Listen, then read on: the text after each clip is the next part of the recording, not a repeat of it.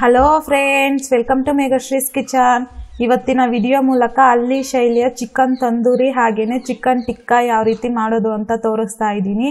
ಇದು ಬಂದು ತೋಟದ ಮನೆ ಹತ್ರ ಬೆಂಕಿಯಿಂದ ಸುಡ್ತಾ ಇದ್ದೀನಿ. ಈ ರೀತಿಯಾಗಿ ಬೆಂಕಿಯಲ್ಲಿ ಸುಡೋದ್ರಿಂದ ಈ ಚಿಕನ್ ತಂದೂರಿ ಹಾಗೇನೆ ಚಿಕನ್ ಟಿಕ್ಕ ತುಂಬ ಅಂದರೆ ತುಂಬಾನೇ ರುಚಿಯಾಗಿರುತ್ತೆ.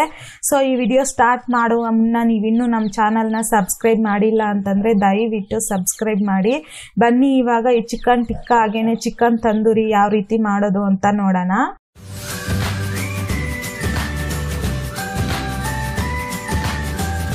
ನೋಡಿ, ನಾನಿಲ್ಲಿ ಮೊದಲಿಗೆ ಚಿಕನ್ ತಂದೂರಿಗೆ ಯಾವ ರೀತಿ ಮಸಾಲೆ ಹಾಗೇನೆ ಏನು ಮಾಡೋದು ಅಂತ ನೋಡೋಣ. ನೋಡಿ, ನಾನಿಲ್ಲಿ ಒಂದೂವರೆ ಕೆ ಜಿ ಆಗೋಷ್ಟು ಚಿಕನ್ ಫುಲ್ ಚಿಕನ್ ತಗೊಂಡಿದ್ದೀನಿ.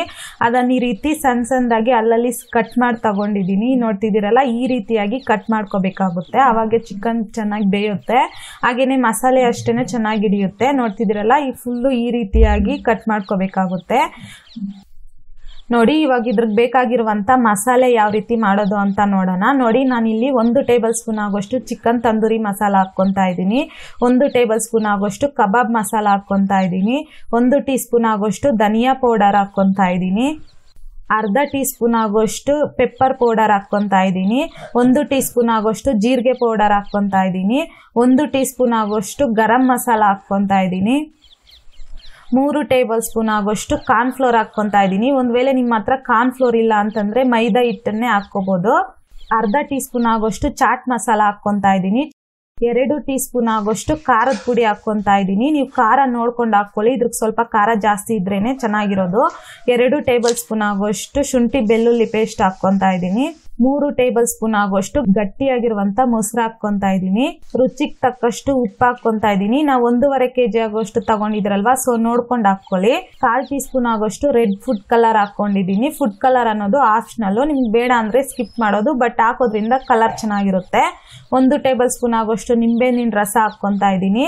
ಒಂದು ಟೇಬಲ್ ಸ್ಪೂನ್ ಆಗೋಷ್ಟು ಅಡುಗೆ ಎಣ್ಣೆ ಹಾಕೊಂತ ಇದ್ದೀನಿ. ಇವಾಗ ಇದನ್ನೆಲ್ಲ ಚೆಂದಾಗಿ ಮಿಕ್ಸ್ ಮಾಡ್ಕೊಬೇಕಾಗುತ್ತೆ. ಈ ಮಸಾಲೆ ಎಲ್ಲಾನು ಪ್ರತಿಯೊಂದು ಚೆಂದಾಗಿ ಮಿಕ್ಸ್ ಆಗೋ ರೀತಿ ಚೆಂದಾಗಿ ಮಿಕ್ಸ್ ಮಾಡ್ಕೋಬೇಕು. ನೋಡ್ತಿದ್ದೀರಲ್ಲ, ಈ ರೀತಿಯಾಗಿ ಮಿಕ್ಸ್ ಮಾಡ್ಕೋಬೇಕು. ಈ ರೀತಿ ಮಿಕ್ಸ್ ಮಾಡ್ಕೊಂಡಾದ್ಮೇಲೆ ನಾವು ಫುಲ್ ಚಿಕನ್ ತಗೊಂಡಿದ್ದಾರಲ್ವ, ಅದನ್ನು ಹಾಕ್ಕೊತಾ ಇದ್ದೀನಿ. ಈ ರೀತಿ ಹಾಕ್ಕೊಂಡಾದ್ಮೇಲೆ ಈ ಮಸಾಲೆ ಎಲ್ಲಾನು ಈ ಫುಲ್ ಚಿಕನ್ಗೆಲ್ಲ ಫುಲ್ ಹಿಡಿಯೋ ರೀತಿ ಚೆಂದಾಗಿ ಮಿಕ್ಸ್ ಮಾಡ್ಕೋಬೇಕು. ನಾನು ಮಿಕ್ಸ್ ಮಾಡ್ಕೊತಿದ್ದೀನಲ್ವಾ ವಿಡಿಯೋದಲ್ಲಿ ಕಾಣಿಸ್ತಿದೆಯಲ್ವಾ? ಆ ರೀತಿಯಾಗಿ ಎಲ್ಲಾನು ಈ ಮಸಾಲೆ ಫುಲ್ಲು ಹಚ್ಕೋಬೇಕಾಗುತ್ತೆ. ಈ ಕಟ್ ಮಾಡಿರ್ತಿರ್ವಲ್ಲ ಸೊ ಅದ್ರಲ್ಗಿನೂ ಚೆಂದಾಗಿ ಈ ಮಸಾಲೆ ಎಲ್ಲಾನು ಇಟ್ಕೋಬೇಕು. ಆವಾಗೆ ಟೇಸ್ಟಿಯಾಗಿರೋದು ನೋಡಿ ಬ್ಯಾಕು ಅಷ್ಟೇ ನಾನು ಈ ರೀತಿಯಾಗಿ ಮಸಾಲೆ ಎಲ್ಲ ಫುಲ್ಲು ಹಚ್ಕೊತಾ ಇದ್ದೀನಿ. ನೋಡ್ತಿದ್ದೀರಲ್ಲ, ಎಲ್ಲಾನು ಈ ರೀತಿ ಮಸಾಲೆ ಹಚ್ಕೊಂಡಿದ್ದಾಗಿದೆ ನೋಡಿ ಯಾವ ರೀತಿ ಕಾಣಿಸ್ತಿದೆ ಅಂತಂದ್ಬಿಟ್ಟು ಈ ರೀತಿಯಾಗಿ ಮಸಾಲೆ ಎಲ್ಲಾನು ಫುಲ್ಲು ಹಚ್ಕೋಬೇಕು. ಆವಾಗೆ ಸುಡೋವಾಗ, ಹಾಗೇನೆ ತಿನ್ನೋವಾಗೂ ತುಂಬ ಅಂದರೆ ತುಂಬಾ ರುಚಿಯಾಗಿರುತ್ತೆ. ನೋಡಿ, ಈ ರೀತಿಯಾಗಿ ಮಸಾಲೆ ಎಲ್ಲಾನು ಈ ಚಿಕನ್ಗೆ ಹಚ್ಕೊಂಡಾದ್ಮೇಲೆ ಇವಾಗ ಇದನ್ನ ಒಂದು ಫೈವ್ ಟು ಸಿಕ್ಸ್ ಅವರ್ಸ್ ಆದ್ರೂ ಫ್ರಿಜ್ಜರ್ ಅಲ್ಲಿ ಚೆನ್ನಾಗಿ ಮ್ಯಾರಿನೇಟ್ ಮಾಡ್ಕೋಬೇಕಾಗುತ್ತೆ. ಫ್ರಿಜ್ ಇಲ್ದೆ ಇರೋರು ಒಂದು ಸಿಕ್ಸ್ ಟು ಸೆವೆನ್ ಅವರ್ಸ್ ಆದ್ರೂ ಹೊರಗಡೆ ಇಟ್ಕೋಬಹುದು ನೋಡಿ, ಇವಾಗ ಚಿಕನ್ ಟಿಕ್ಕಾಗೋಸ್ಕರ ರೆಡಿ ಮಾಡ್ಕೊಂತಾ ಇದೀನಿ ಅದನ್ನ ಈ ರೀತಿ ಬೋನ್ಲೆಸ್ ಚಿಕನ್ ತಗೊಂಡಿದ್ದೀನಿ. ಒಂದು ತ್ರೀ ಹಂಡ್ರೆಡ್ ಗ್ರಾಮ್ ಆಗೋಷ್ಟು ತಗೊಂಡಿದ್ದೀನಿ.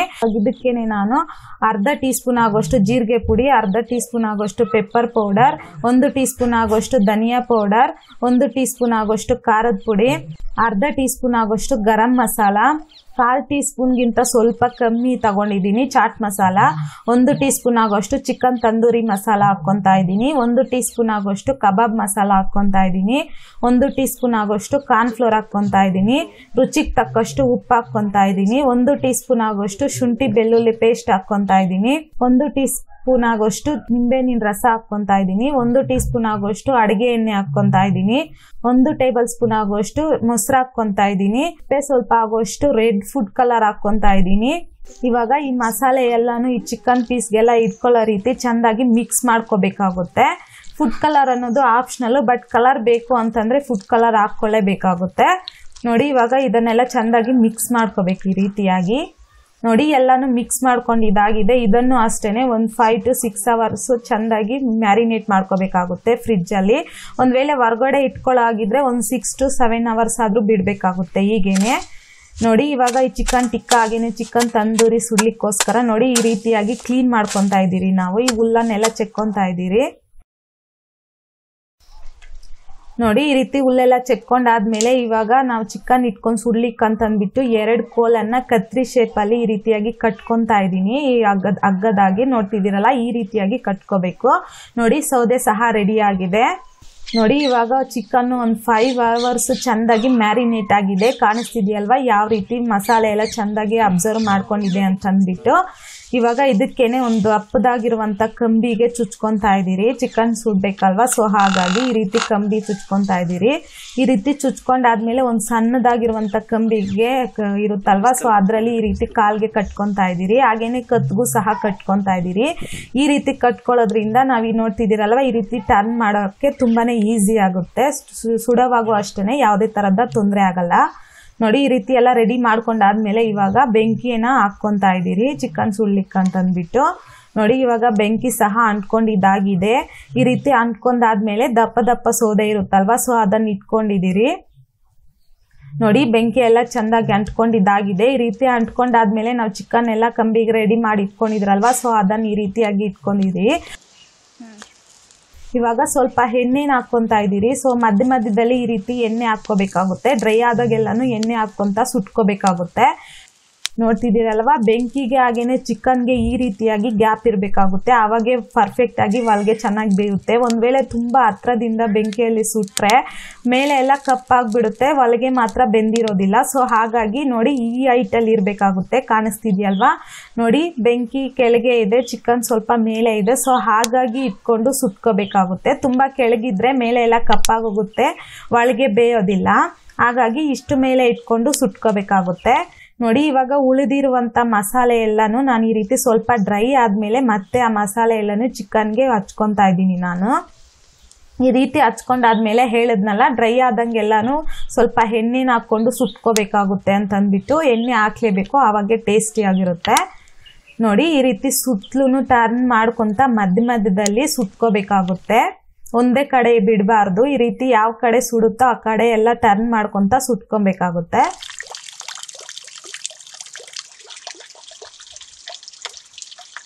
ನೋಡ್ತಿದ್ರಲ್ಲ, ಇದು ಬಂದು ಮನೆ ಮನೆ ಮುಂದೆ ತೋಟ ಇದೆ. ನೋಡಿ, ಈ ತೋಟದಲ್ಲಿ ನಾವು ಇವಾಗ ಚಿಕನ್ ಟಿಕ್ಕ ಹಾಗೆ ಚಿಕನ್ ತಂದೂರಿನ ಸುಡುವಂಥದ್ದು. ಇಂಥ ಪ್ಲೇಸಲ್ಲಿ ಚಿಕನ್ ಟಿಕ್ಕ ಹಾಗೇನೆ ಚಿಕನ್ ಕಬಾಬ್ ತಿಂತಾ ಇದ್ರೆ ತುಂಬಾ ಅಂದ್ರೆ ತುಂಬಾನೇ ರುಚಿಯಾಗಿರುತ್ತೆ.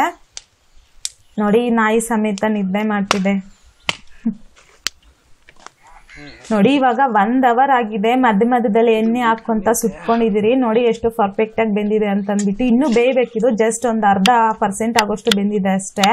ಇವಾಗ ನೋಡಿ ಚಿಕನ್ ಟಿಕ್ಕಾಗೋಸ್ಕರ ರೆಡಿ ಮಾಡ್ಕೊಂಡಿದ್ರಲ್ವಾ? ಸೊ ಅದನ್ನು ಅಷ್ಟೇನೆ ಇವಾಗ ಈ ರೀತಿಯಾದ ಸಣ್ಣದಾಗಿರುವಂತ ಕಂಬಿಗೆ ಚುಚ್ಕೊಂತ ಇದ್ದೀನಿ. ಇವು ಸಣ್ಣದಾಗಿರುವಂತ ಕಂಬಿ ಉದ್ದ ಇರುತ್ತಲ್ವಾ? ಸೊ ಅಂಥದ್ರಿಗೆ ಚುಚ್ಕೊಂತಾ ಇದ್ದೀನಿ ನಾನು. ಈ ಚಿಕನ್ ಪೀಸನ್ನೆಲ್ಲಾನು ಈ ರೀತಿ ಚುಚ್ಕೋಬೇಕು. ನೋಡಿ, ಎಲ್ಲಾನು ಚುಚ್ಕೊಂಡಿದ್ದಾಗಿದೆ ಕಾಣಿಸ್ತಿದೆಯಲ್ವಾ? ಸೊ ಈ ರೀತಿಯಾಗಿ ಚುಚ್ಕೋಬೇಕಾಗುತ್ತೆ. ನೋಡಿ, ಚಿಕನ್ನಲ್ಲೂ ಅಷ್ಟೇ ಎಣ್ಣೆ ಎಲ್ಲ ಚೆಂದಾಗಿ ಸೋರ್ತಿದೆ ಅಲ್ವಾ? ನೋಡಿ, ಎಷ್ಟು ಪರ್ಫೆಕ್ಟ್ ಆಗಿ ಕುಕ್ ಆಗ್ತಿದೆ ಅಂತಂದ್ಬಿಟ್ಟು, ತುಂಬ ಅಂದರೆ ತುಂಬಾನೇ ರುಚಿಯಾಗಿರುತ್ತೆ. ನೋಡಿ, ಇವಾಗ ಚಿಕನ್ ತಂದೂರಿ ಅನ್ನೋದು ಒನ್ ಅವರ್ ಆಗಿದೆ. ಈ ರೀತಿ ಒನ್ ಅವರ್ ಆದ್ಮೇಲೆ ನಾವು ಚಿಕನ್ ಟಿಕ್ಕಾಗೋಸ್ಕರ ಪೀಸ್ ಎಲ್ಲ ಚುಚ್ಕೊಂಡಿದ್ರಲ್ವಾ ಕಂಬಿಗೆ? ಸೊ ಅದನ್ನು ಅಷ್ಟೇನೆ ಈ ರೀತಿಯಾಗಿ ಇಟ್ಕೊಂಡು ಸುತ್ಕೊಂತಾ ಇದೀರಿ ಇದು ಅಷ್ಟೇನೆ ಬೆಂಕಿಯಲ್ಲಿ ಇಟ್ಕೊಂಡು ಸುತ್ಕೋಬಾರ್ದು. ಅಬೆಯಲ್ಲೇ ಸುಟ್ಕೋಬೇಕು ಆವಾಗೆ ಫರ್ಕ್ ಬೇಯುತ್ತೆ. ಒಂದ್ ವೇಳೆ ಬೆಂಕಿಯಲ್ಲಿ ಇಟ್ಕೊಂಡು ಸುತ್ಕೊಂಡ್ರೆ ಸೀದೋಗುತ್ತೆ, ಒಳಗೆ ಬೇಯೋದಿಲ್ಲ. ನೋಡಿ, ಈ ಚಿಕನ್ ತಂದೂರಿ ಜೊತೆಯಲ್ಲೇ ಈ ಚಿಕನ್ ಟಿಕ್ಕ ಪೀಸ್ ರೆಡಿ ಮಾಡ್ಕೊಂಡಿದ್ರಲ್ವಾ? ಸೊ ಅದನ್ನ ಇಟ್ಕೊಂಡು ಈ ರೀತಿಯಾಗಿ ಸುತ್ಕೊಂತ ಇದೀರಿ ಇದಕ್ಕೂ ಅಷ್ಟೇನೆ ಸ್ವಲ್ಪ ಎಣ್ಣೆನ ಹಾಕೊಂಡು ಸುಟ್ಕೊಂತಾ ಇದೀರಿ, ಸ್ವಲ್ಪ ದೂರ ಇಟ್ಕೊಂಡೆ ಇದನ್ನು ಬೇಯಿಸ್ಕೋಬೇಕಾಗುತ್ತೆ. ನೋಡಿ, ಇವಾಗ ಚಿಕನ್ ತಂದೂರಿ ಹಾಗೇನೆ ಚಿಕನ್ ಟಿಕ್ಕಲ್ಲಿ ಇವಾಗ ಇದ್ರಿಗೆ ಸರ್ವ್ ಮಾಡ್ಕೊಲಿಕ್ಕೆ ಅಂತಂದ್ಬಿಟ್ಟು ಬಾಳೆ ಎಳೆ ಹಾಗೇನೆ ನಿಂಬೆ ಹಣ್ಣು ಕಿತ್ಕೊಂಡ್ ಬರಕ್ ಹೋಗ್ತಾ ಇದ್ದೀರಿ ತೋಟದಲ್ಲಿ. ನೋಡಿ, ಇವಾಗ ಚೇಪೆಕಾಯಿ ಕಿತ್ಕೊಂಡ್ ತಿನ್ಕೊಂತ ಹೋಗ್ತಾ ಇದ್ದೀರಿ. ನೋಡಿ, ಇವಾಗ ಬಾಳೆ ಕೊಯ್ಕೊಂತ ಇದ್ದೀರಿ ಬಾಳೆ ಎಳೆನ.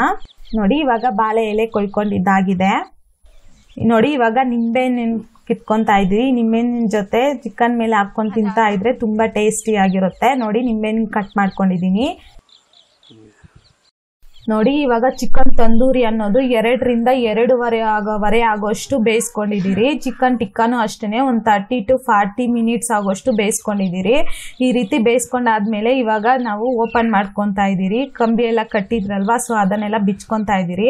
ನೋಡಿ, ಎಲ್ಲಾನು ಬಿಚ್ಕೊಂಡು ಬಾಳೆ ಎಲೆ ಹಾಗೇನೆ ನಿಂಬೆನೆಲ್ಲ ಕಿತ್ಕೊ ಬಂದಿದ್ರಲ್ವಾ ಸೊ ಅದ್ರ ಜೊತೆಲಿ ಸಾರು ಮಾಡ್ಕೊತಾ ಇದ್ದೀರಿ. ನೋಡಿ, ಈ ನಿಂಬೆಂಜಿನ ಜೊತೆ ಹಾಗೇನೆ ಈರುಳ್ಳಿ ಜೊತೆ ಈ ಚಿಕನ್ ಟಿಕ್ಕ ಹಾಗೇನೆ ಚಿಕನ್ ತಂದೂರಿ ಸರ್ವ್ ಮಾಡ್ಕೊಂಡು ತಿಂತಾ ಇದ್ರೆ ತುಂಬಾ ಅಂದ್ರೆ ತುಂಬಾನೇ ರುಚಿಯಾಗಿರುತ್ತೆ.